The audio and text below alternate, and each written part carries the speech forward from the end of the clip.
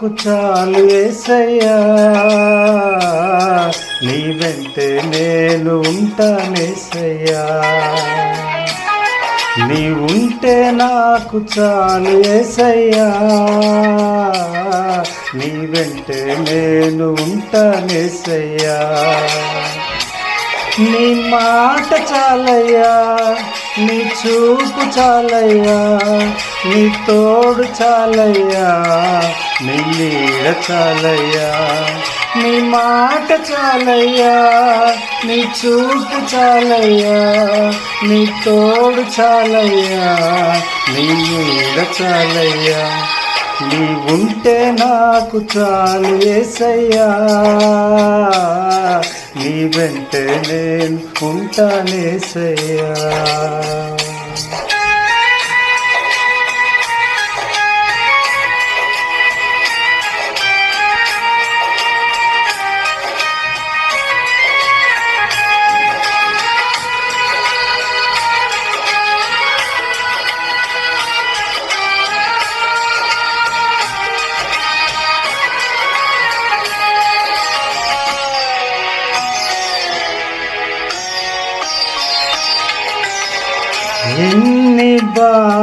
బాధలున్నను ఇబ్బందులైనను.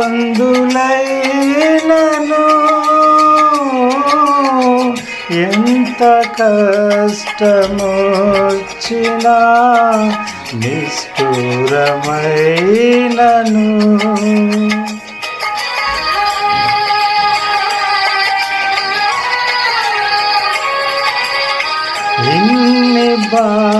బాధలున్నను ఇబ్బందులైనను.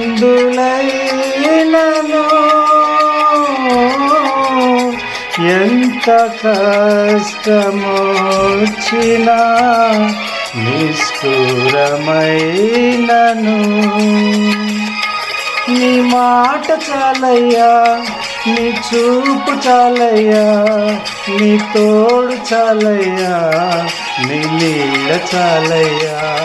నీ మాట చాలయ్యా నీ చూపు చాలయ్యా నీ తోడు చాలయ్యా నీ నీడ చాలయ్యా. నీ ఉంటే నాకు చాలు ఏసయ్యా. నీ వెంటే నేను ఉంటానేసయ్యా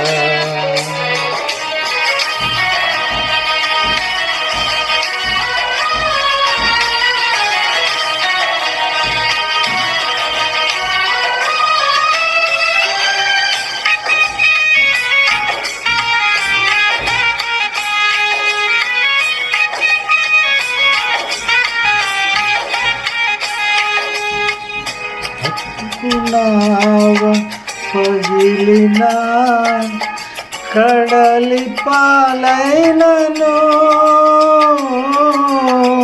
అలలు ముంచి వేసిన ఆశలు అణగారిన.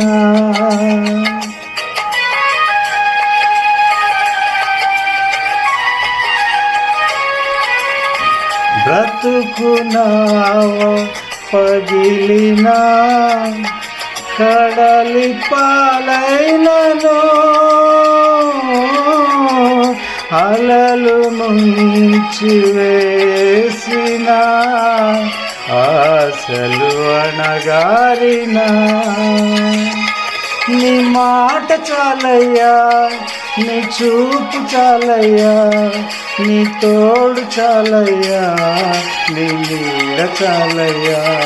నీ మాట చాలయ్యా నీ చూపు చాలయ్యా నీ తోడు చాలయ్యా నీ నీడ చాలయ్యా. నీవుంటే ఉంటే నాకు చాలు ఏసయ్యా. నీ వెంటే నేను ఉంటానేసయ్యా ప్రభునందు ప్రియ దేవుని బిడ్డలారా మన ప్రభువును రక్షణ యేసుక్రీస్తు యొక్క ప్రశస్తమైన నామములు మీ అందరికీ శుభములు తెలియచేస్తూ ఉన్నాను షారోను పావరు స్వరం అనే ఈ టీవీ పరిచర్య ద్వారా దేవుడు ఈ కార్యక్రమాలు జరిగించుతున్నాడు దీని వెనుక ఎంతోమంది బిడ్డలు వారు ప్రయాసపడుతున్నారు. వారిని వారి కుటుంబాలను దేవుడు దీవించాలని మరి ఒకసారి జ్ఞాపకం చేస్తున్నాను. దేవుని గ్రంథము ఇది ప్రశస్తమైన గ్రంథము. శ్రేష్టమైన గ్రంథము శ్రేష్ఠ గీత అంటారు. యేసు నిజమైన దేవుడని సజీవుడైన దేవుడని సర్వాధికారి అయిన దేవుడని సర్వ శరీరులకు దేవుడని ఈ ప్రపంచ సృష్టిని చేసిన దేవుడని సృష్టికర్తయని సర్వోన్నతుడని సర్వాధికారుడని అన్ని మతాలు అందరూ ఆయనను ఆరాధిస్తున్నారు. దేవుడు కావాలి. ఆ దేవుని మాటలు కావాలి. ఆ దేవుడు ఏం చెప్పాడు? ఈ విషయాలు మనకి చాలా అవసరం. అస్థిరం లోకే జీవనం. అస్థిరం. సుస్థిరం ధర్మకీర్తిద్వయం సుస్థిరం. భక్తి యశస్థితి భక్త. భక్తియోగ నిరుపద్రవ. భక్తియోగాన్ముక్తి భక్తిరేవ గరియసి. మోక్షకారణ సామగ్రియం భక్తిరేవ గరియసి. ఇహమందు భుక్తి కావాలన్నా పరమందు ముక్తి కావాలన్నా వ్యక్తికి భక్తి కావాలి. ఏ దేవుడు మనం సృష్టిస్తాడో పోషిస్తున్నాడో నడిపిస్తున్నాడో ఆయన ఎందు భక్తి కలిగి ఉండడమే భక్తి అన్నారు. కనుక బైబిల్ అంతా చూస్తుంటే మన చేతులు ఏమి లేదు. మనమేమి చేయలేము. మన నిమిత్త మాత్రులం దేవుని ఎందు భయభక్తులు కలిగి యహోవా ఎందు భయభక్తులు కలిగి ఉండట దీర్ఘాయుష్యునకు కారణము. యహోవా భయభక్తులు కలిగి ఉండుట జ్ఞానమునకు మూలము. యహోవా భయభక్తులు కలిగి ఉండుట తెలివికి మూలము. యహోవా ఎందు భయభక్తులు కలిగిన వాడు తృప్తుడై అపాయము లేకుండా బ్రతుకును. తండ్రి అయిన దేవుని దృష్టిలో పవిత్రమును నిష్కళంకమైన భక్తి ఏదనగా దిక్కులేని పిల్లలను విధవరాండను వారి ఇబ్బందులలో పరామర్శించుట. ఇహలోక మాలిన్యము తన పంటుకొనకుండా జాగ్రత్తగా చూసుకున్నట ఇది భక్తి. ప్రభునందు ప్రియ భక్తులందరికీ శుభాలు తెలియచేస్తున్నాను ఈ సమయంలో కొన్ని విషయాలు బైబిల్ గ్రంథాన్ని నుంచి మనం ముచ్చటించుకోవాలని ఆశపడుతున్నాను. మరి పరిచర్య కొరకు ప్రార్థించండి. దేవుడు మిమ్మల్ని దీవించాలని ఆశపడుతున్నాను. ఈ సమయంలో లేహస్కల గ్రంథంలో ఎనిమిదవ అధ్యాయంలో నాలుగవ వచనంలో ఒక మాట జ్ఞాపకం చేస్తున్నాడు. మనుషులందరూ నా వశములో ఉన్నారు. మనుషులందరూ ఆరు కోట్ల ఆంధ్రులు డెబ్భై ఎనభై కోట్ల భారతీయులు ఏడు వందల కోట్లు మానవులు ఎండకాయ భూమండలం అంతా ఎంతమంది అయితే ఉన్నారు వీరంతా మనుషులందరూ నా వశములో ఉన్నారు. తండ్రులేమి కుమారులేమి అందరూ నా వశములో ఉన్నారని ఇక్కడ దేవుడు ప్రవక్త ద్వారా జ్ఞాపకం చేస్తున్నాడు. యోగు గ్రంథములో పన్నెండవ అధ్యాయములో పదవచనములో జీవరాశుల ప్రాణమును మనుషులందరి ఆత్మలను ఆయన వశములో ఉన్నవి కదా.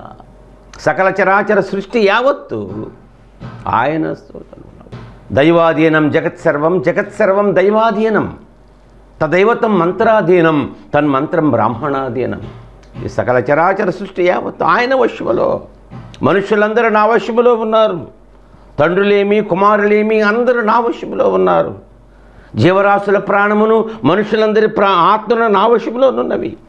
ఈ లోకంలో నీది నాదేమీ లేదు. ఆయన ఆయన సృష్టి మనం. కీర్తన అరవై ఎనిమిదో కీర్తనలో ఇరవై వచనములో మరణము తప్పించడం ఆ ప్రభువైన యుహోవ వశము. జాతస్యం మరణం ధ్రువం పుట్టినవాడు చావక తప్పదు.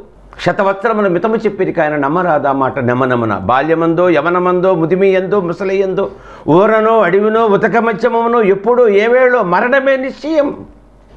నిత్యం సన్నిహితో మృత్యు జాతస్యం మరణం తప్ప మరణము తప్పించుట యహోవా వశము. ఆయన తప్పించగలడు. జనులను సజీవులుగాను మృతులుగాను చేయవాడు యహోవాయే. ఒకటవ సమయంలో గ్రంథం ఆ రెండవ వచ్చి ఆరో వచ్చిన రాస్తున్నాడు. జనులను సజీవులుగాను మృతులనుగాను చేయవాడు యుహోవయే. పాతాళానికి పంపుచు అందులో నుంచి రప్పించేవాడు యుహోవయే. కనుక మనుషులందరూ నా వశములో ఉన్నారు. ఇర్మియా గ్రంథంలో చెబుతాడు అధిక బలము చేతను చాచిన బాహువు చేతను భూమిని భూమి మీద ఉన్న నరులను జంతువులను నేనే సృష్టించి ఎవరికిచ్చుని న్యాయమైన నాకు తోచునో? ఆరోగ్యం కావాలన్నా బలము కావాలన్నా శక్తి కావాలన్నా ఆయుష్ కావాలి ఆయనకు తోచాలి ఆయన ఇవ్వాలి. అందుకే ఆయన ఎందు భయభక్తులు నిలపాలి. ఇప్పుడైతే నా దాసులకు బబులోను రాజైన నెపుకజ్ఞ వశము చేయుచున్నాను.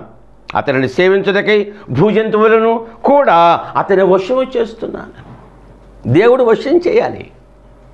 దేవుడు మనకివ్వాలి. అందుకే దేవుడు కావాలి. బైబిల్ గ్రంథం అంటే దేవుడు దేవుడు దేవుడు దేవుడి గురించి చెప్పే గ్రంథము బైబిల్ గ్రంథము. ద్వారాత్రులు ధ్యానించమన్నాడు. రెండవ దినవృత్తాంత గ్రంథములో ఈ ముప్పై ఆరు ఇరవై మూడులో చెబుతున్నాడు ఖురేషు ప్రకటన. పారసికపరాజైన ఖురేషు ఆగ్రహించినదేమనగా ఆకాశముందని దేవుడిని యహోవా లోకమందున సకల జనములను నా వశము చేసి యోధాదేశం దేశం తన మందిరము కట్టించుమని నాకు ఆజ్ఞ ఉన్నాడు. ఆకాశముందున దేవుడు యహోవా లోకమందున సకల జనములను నా వశం చేశాడని ఒక రాజు గారు చెప్తున్నాడు రాజులుగా పెట్టే చేసేవాడు తరాజులుగా చేసేవాడు నీ జీవిత గమ్యాన్ని మార్చేవాడు.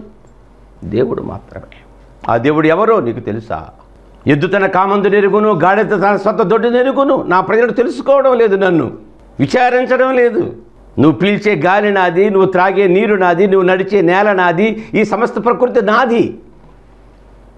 నావి తీసుకుని అనుభవిస్తూ నన్ను వెతకకపోతే నాకెంత బాధ అని దేవుడు వ్యసన పడుతున్నాడు బాధపడుతున్నాడు నీ విషయంలో.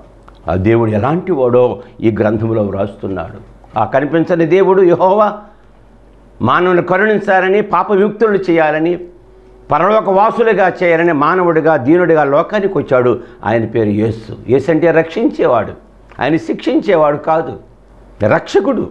ఆమె యొక్క కుమారుని కనును తన ప్రజలను వారి పాపముల నుంచి ఆయనే రక్షించును గనుక ఆయనకి యేసు అని పేరు పెట్టితమని ఒక దూత గాబ్రియల్ దూత మరియమ్మ గారితో చెప్పాడు. ఆయనే ప్రజలను పాపము నుంచి శాపము నుంచి రక్షించేవాడు విడిపించేవాడు విమోచకుడు. ఆయన గురించి ఏం చెబుతున్నాడు బైబిల్ గ్రంథంలో తొంభై ఆరవ కీర్తనలో నాలుగో వచనములో యహోవ మహాత్యము గలవాడు. ఆయన అధిక స్తోత్రము నందదగిన దేవుడు. సమస్త దేవతల కంటే ఆయన పూజనీయుడు జనముల దేవతల ఒట్టి విగ్రహములే. యహోవా ఆకాశ విశాలమును సృష్టించిన ఘనత ప్రభావము ఆయన సన్నిధిలో ఉన్నవి. బలము సౌందర్యము ఆయన పరిశుద్ధ స్థలములోనున్నవి. తొంభై ఏడవ కీర్తన కీర్తన ఏడవ వచనములో వ్యర్థ విగ్రహములను బట్టి అతిశయపడుచు చెక్కిన ప్రతిమలను పూజించు వారందరూ సిగ్గుపడుదురు. సకల దేవతలు ఆయనకు నమస్కారము చేయును అని దేవుని గ్రంథం చెబుతుంది. నూట ముప్పై ఐదో కీర్తన పదిహేను వచ్చినములు అన్యుల విగ్రహములు వెండి బంగారువి. అవి మనుషుల చేతి పనులు. వాటికి నోరుండి పలకవు కనులుండి చూడవు చెవులుండి వినవు. వాటి నోళ్ళలో ఊపిరి లేశమైనడు లేదు. వాటిని చేయువారును వాటి ఎందు నమ్మకించువారును వారందరూ వాటితో సమానులగుదురని దేవుని గ్రంథం చెబుతుంది. నూట పదిహేనవ కీర్తన నాలుగవ వచనములో వారి విగ్రహములు వెండి బంగారువి. అవి మనుషుల చేతి పనులు. వాటికి నోరుండి పలకవు కనులుండి చూడవు చెవులుండి వినవు ముక్కులుండి వాసన చూడవు చేతులుండి ముట్టుకొనవు పాదములుండి నడవవు గొంతుకతో మాటలాడవు. వాటిని చేయవారు వాటి ఎందు నమ్మికించు వారందరూ వాటి వంటి వారు ఒకరు దేవుని గ్రంథం చెబుతుంది. కనుక నా ప్రియ సోదరి సోదరులారా యేసు నిజమైన దేవుడని సజీవుడైన దేవుడని పరలోకానికి మార్గమని పరలోకాన్ని చేర్చేవాడని ప్రపంచమంతా దేవుని సేవకులు సువార్త ప్రకటిస్తున్నారు. ఈరోజే యేసుని ఆహ్వానించు నీ హృదయంలోనికి నీ జన్మ కర్మ పాపములు మనోవాక్కాయ కర్మములు చేత చేసిన పాపములు పరిహారం చేసి పరిశుద్ధుడిగా నీతిమంతుడిగా నిర్దోషిగా నిరపరాధిగా ఆ స్వర్గలోకానికి తీసుకుపోయే మార్గము ఏసే. అని ఈ సమయంలో జ్ఞాపకం చేస్తూ ఉన్నాను. ఈ సందర్భంగా దానియలు గ్రంథంలో ఒక చిన్న చరిత్ర జ్ఞాపకం చేస్తారు. ఐదవ అధ్యాయంలో ఈ ప్రపంచాన్ని నాలుగు సామ్రాజ్యాలు పరిపాలించాయి. ప్రపంచాన్ని ఏకచక్రాధిపత్యంగా.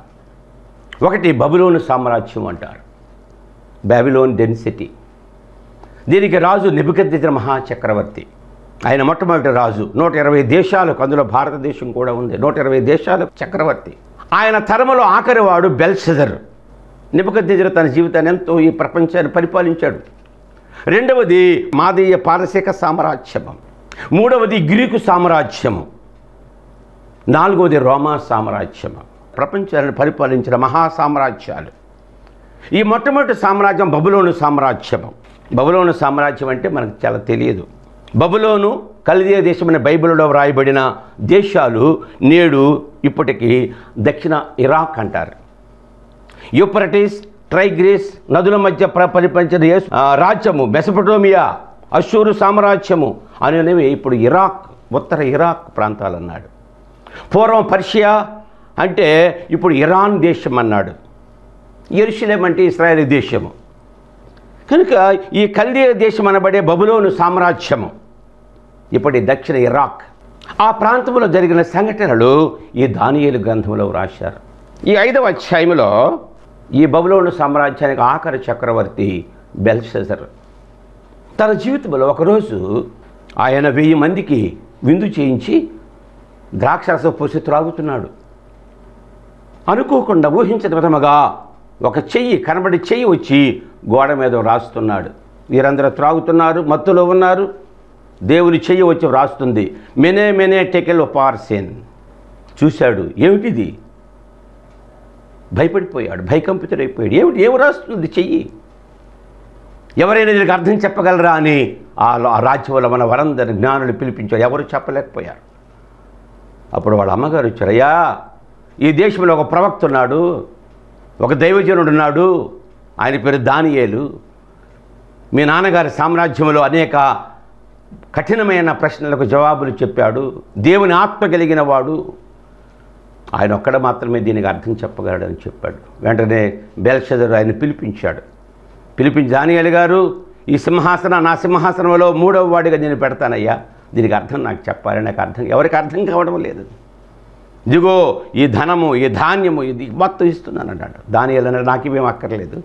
అయినప్పటికీ నేను ఈ విషయాన్ని చెప్పాలి కనుక చెప్తున్నాను అని చెప్పాడు. దా ఐదవ అధ్యాయం చదువుకుంటూ పోతే మీకు తెలుస్తుంది.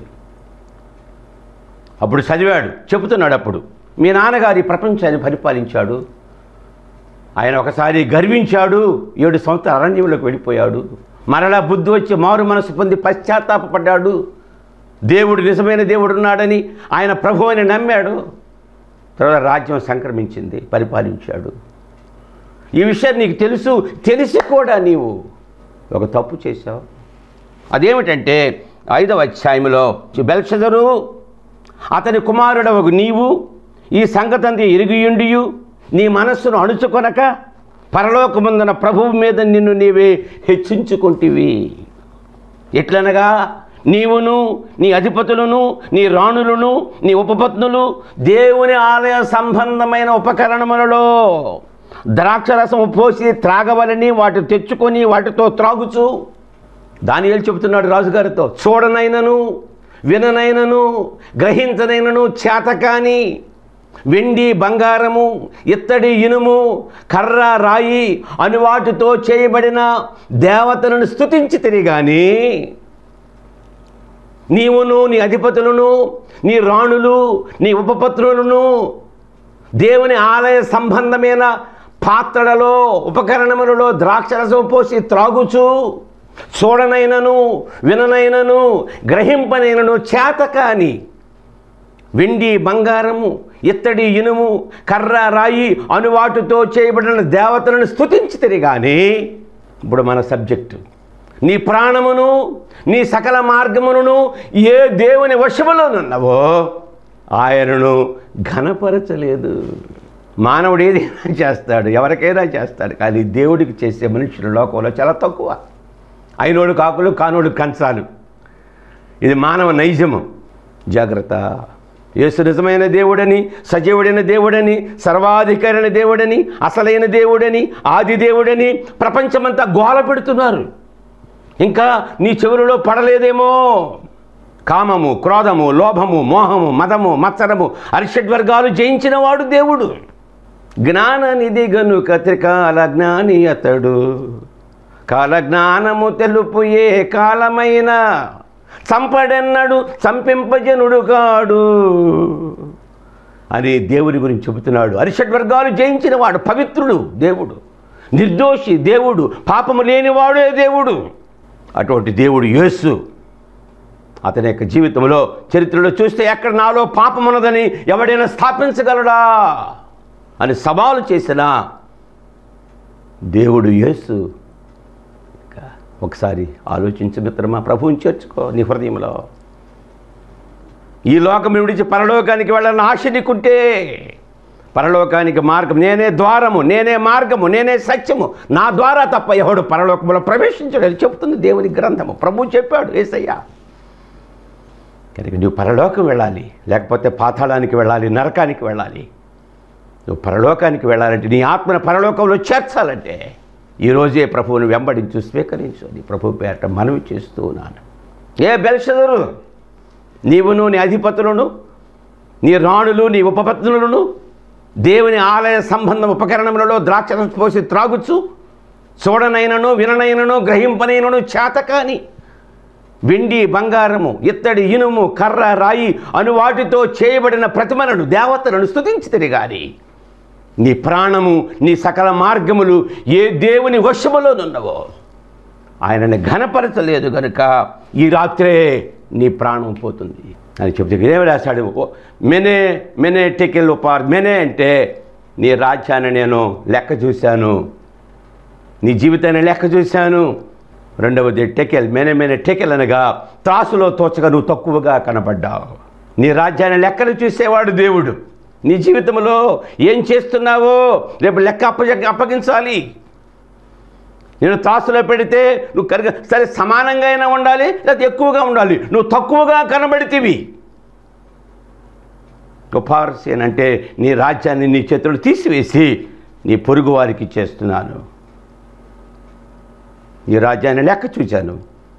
నువ్వు త్రాసులో తక్కువగా కనబడితివి. నీ రాజ్యాన్ని నీకు లేకుండా చేస్తున్నాను వేరే వారికి ఇస్తున్నాను. ఈ రాత్రే నీ ప్రాణమును ఈ లోకం విడిచిపెట్టవలసి వస్తుందని దేవుడు చెప్పాడు రాశాడు అనగానే గుండె బగిలిపోయింది భయపడ్డాడు అయినప్పటికీ దాన్ని నేను సత్కరించి దాన్ని నేను ఘనపరిచి నీ దేవుడు గొప్ప దేవుడు స్టేట్మెంట్ ఇచ్చాడు ఆ రాత్రే పర్షియా రాజైన కొరేష్ రాత్రికి రాత్రి బబులోని సామ్రాజ్యంలో వచ్చి ఆయనను చంపివేసినట్లుగా చరిత్ర మనకు జ్ఞాపకం చేస్తుంది. కనుక ప్రియమిత్రులారా ఇక్కడ ఏమి జ్ఞాపకం చేస్తూ నీ ప్రాణమును నీ సకల మార్గమునుడు దేవుని చేతిలో ఉన్నవి. నీ ప్రాణం నీ చేతిలో లేదు. ఈ ప్రాణం ఎప్పుడైనా పోతుంది. ఈ సమయంలో మన దేశంలో ఎక్కువగా దింగు జ్వరాలు చచ్చిపోతారు జ్వరం వస్తే చచ్చిపోతున్నారు. తెగులు వస్తే చచ్చిపోతున్నారు. కరోనా వస్తే చచ్చిపోతున్నారు. నేను ఆపేవాడు లేడు. నీ ప్రాణము నీ సకల మార్గములు. నువ్వే మార్గములో ఉన్నావో? అది సరైన మార్గమో కాదో చూసుకో. అనేక లోక మార్గాలు పాపమ మార్గాలు పనికిరాని మార్గాలు గమ్యాన్ని చేర్చే మార్గాలు లేవు. యేసు ఒక్కడే మార్గము నేనే మార్గము నేనే సత్యము నేనే ద్వారము పరలోక ద్వారము నేనే నా ద్వారా తప్ప. ఈ సమయంలో దేవుని గ్రంథం జ్ఞాపకం చేస్తుంది. ఇంత గొప్ప రక్షణ నిర్లక్ష్యం చేసుకుంటే నువ్వు ఎలాగూ తప్పించుకుంటావు? నువ్వేమైపోతావు? ఏ ఆత్మ నీకు ఇచ్చాడో ఏ జీవాత్మని శరీరంలో పెట్టాడో శరీరం మట్టి అయిపోతుంది కాలిస్తే బూడిదైపోతుంది పాతేస్తే మట్టి అయిపోతుంది పారేస్తే పంచభూతాల్లో కలిసిపోతుంది మట్టి మట్టికి వెళ్ళిపోతుంది. నీ లోపల ఆత్మ జీవాత్మ దేవుడు పెట్టిన జీవాత్మ ఈ లోకాన్ని విడిచిపెడితే పరలోకంలో ఉండాలి. నీ ప్రాణమును నీ సకల మార్గములు దుస్తుల మార్గము నాశనమునకు నడుపునంటున్నాడు దుస్తుల ఆలోచన చొప్పున నడవక పాపుల మార్గమున నిలవక పహాసకులు కూర్చుండు చోటను కూర్చుండక యహోవా ధర్మశాస్త్రం ఆనందించుట దివారాత్రమ దానిని ధ్యానించువాడు ధన్యుడు. అతడు నీటి కాలం ఎవరన నాటబడినది ఆకు వాడక తన ఫలమిచ్చి చెట్టు వలె ఉండను. అతడు చేయనతయు సఫలముగను దుష్టులు అలాగుండక గాలి చెదరగొట్టు పొట్టు వలె ఉందరు కాబట్టి న్యాయమనుషులు దుష్టులను నీతిమంతుల సభలో పాపులను నిలవరు. నీతిమంతుల మార్గము యహోవాకు తెలియను దుష్టుల మార్గము నాశనమునకు నడుపును. ఏ మార్గంలో ఉన్నావో? నీ ప్రాణము నీ సకల మార్గములు దేవుని చేతిలో ఉన్నాయి. నువ్వు సన్మార్గములో ప్రవేశించాలని నీతిమంతుల మార్గంలో ప్రవేశించాలని అతద్వారా పరలోకానికి వెళ్ళాలని దేవుడు ఆశిస్తున్నాడు కనుక. ఆ బెల్షెదరు భయపడిపోయాడు. అప్పటికి అర్థమైపోయింది కానీ కాలం వ్యర్థమైపోయింది. ఈ సమయంలో నువ్వు ఏ మార్గంలో ఉన్నావో ఆలోచించుకొని. యేసు నిజమైన దేవుడు సజీవుడైన దేవుడు అసలైన దేవుడు. తృణీకరించకు నిర్లక్ష్యం చేయకు.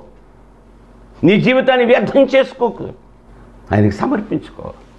ఆయన బిడ్డగా ఆయన సాక్షిగా బ్రతకడానికి నిన్ను నీవే ఆయనకు సమర్పించుకో. ఆయన మార్గంలోనికి రా. లోక మార్గాలు వ్యాపార మార్గాలు దుష్ట మార్గాలు లోకములు ఎన్నో ఉన్నాయి. వాటిలో ఉంటే నీ ఆత్మ నశించి నరకానికి పోతుంది కానీ నువ్వు పరలోకానికి వెళ్ళాలి. దేవుని పోలికలో నువ్వు ఉండాలి. ఆ మహిమరాజ్యంలో ప్రవేశించాలంటే. ఈరోజే నువ్వు రిజిస్టర్ చేసుకో. ప్రభువా నా హృదయంలో రానాయన నా పాపాలు నా విధేయత నా పొరపాట్లు క్షమించు. నీ రక్తంలో కడుగు నా ప్రాణం నీ చేతిలో ఉంది. మనుషులందరూ నా వశములో ఉన్నారు. తండ్రులేమి కుమారులేమి అందరూ నా వశములో ఉన్నారని దేవుని వాక్యం చెబుతుంది నాయన. జీవరాశుల ప్రాణము మనుషులందరి ఆత్మలు నా వశములో ఉన్నాయని దేవుడు చెబుతున్నాడు. ప్రభా ఒకసారి నా ఆత్మను జ్ఞాపకం చేసుకో. ప్రభా నేను నీ సన్నిధిలోనికి రావాలి నీ స్వర్గంలో ప్రవేశించాలి. ప్రభు అటువంటి భాగ్యాన్ని నాకు ప్రసాదించి ఒక రాజు బెల్షజర్ రాజు అనే రాజు ఈ సంగతి గ్రహించక తన జీవితాన్ని నాశనం చేసుకున్నాడు.